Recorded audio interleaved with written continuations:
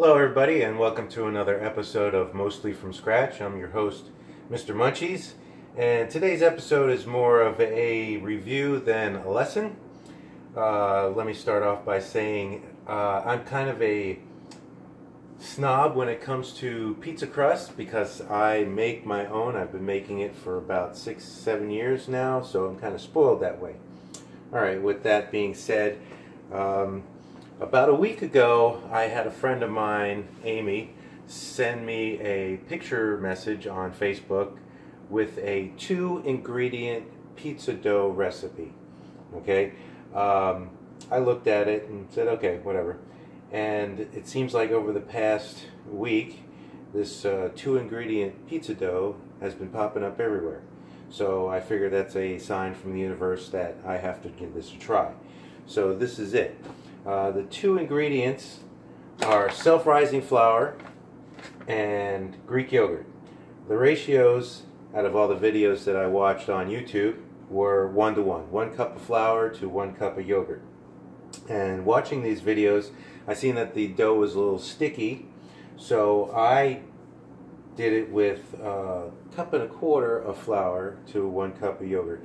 The dough still came out kind of sticky, almost like a um, a biscuit dough.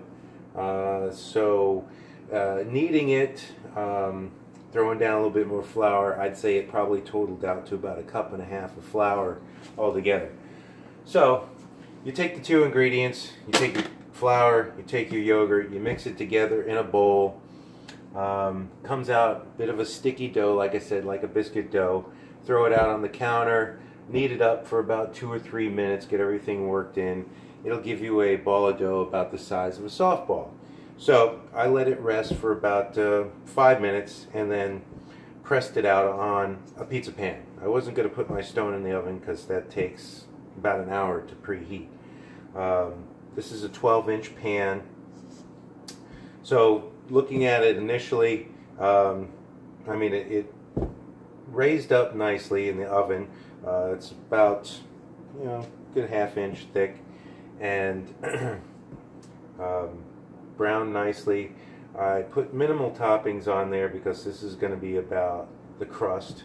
Um, so it's been out of the oven now for about uh, seven, eight minutes. So I'm going to cut into it and give it a try and, and see how, yeah, it's still hot, uh, see how it tastes.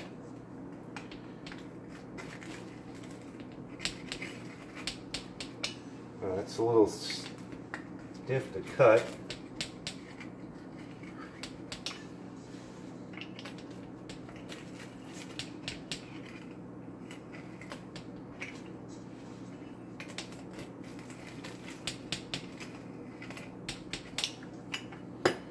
Okay, so let's grab a piece here. Something's telling me I should have oiled my pan. Yeah.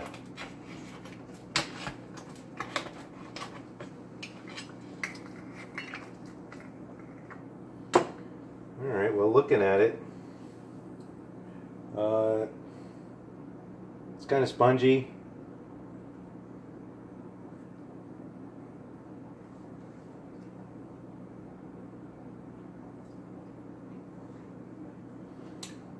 unbiased opinion. Like I said, I'm kind of spoiled from my own dough, but um,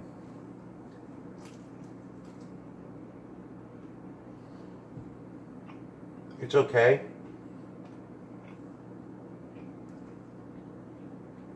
I mean, it's got kind of a uh, almost like a sourdough bread kind of taste to it. I guess that's because of the uh, the plain Greek yogurt there, because that's kind of tart. texture wise I mean it's almost like a biscuit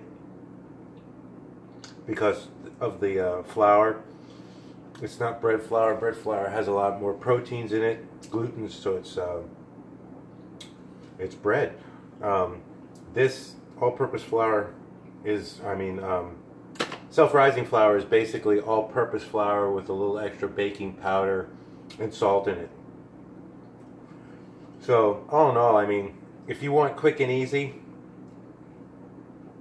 it's okay. I mean, to me, there's no quick and easy pizza dough. My dough takes all day to make. I bloom my yeast, proof my dough. I mean, if I want to eat by 6 o'clock, I got to start it at about noon. But, I mean, if you're going to do something like this, um, I would just, you know, if you want quick and easy, I would just stop at the grocery store and grab a, a tube of Pillsbury pizza crust. I mean, it's about the same. It's okay. If you your kids, they wouldn't know the difference. All right, so give it a try. Let me know what you think yourself. Um, I kind of hate to end the episode this way because it's really not that great, but uh, you know, play it up and chow down.